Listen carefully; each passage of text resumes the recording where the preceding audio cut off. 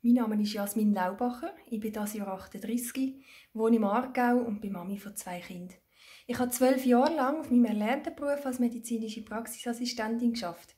Mir ist es immer sehr, sehr am Herzen gelegen, dass ich den Leuten helfen kann und den Menschen etwas Gutes tun kann.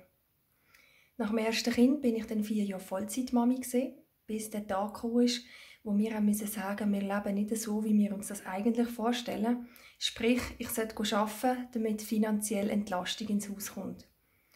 Zum genannten Job ist für mich allerdings aus diversen Gründen nicht in Frage gekommen. Ich hatte die verlangte Flexibilität nicht, gehabt, bei Krankheitsausfällen spontan einspringen oder für Ferienvertretungen das Pensum zu steigern. Die Versorgung durch Drittpersonen von unseren Kindern wäre nicht gewährleistet gewesen.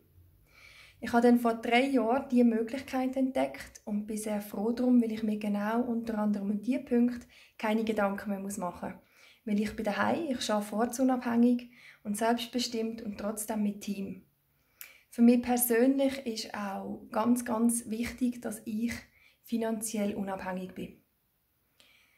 Für meine Zukunft wünsche ich mir, dass noch ganz viele Menschen und auch du dich für diesen Weg entscheiden weil jeder hat die Möglichkeit, die Zeit, die er hat, zu nutzen für die Sachen, die ihm am Herzen liegen.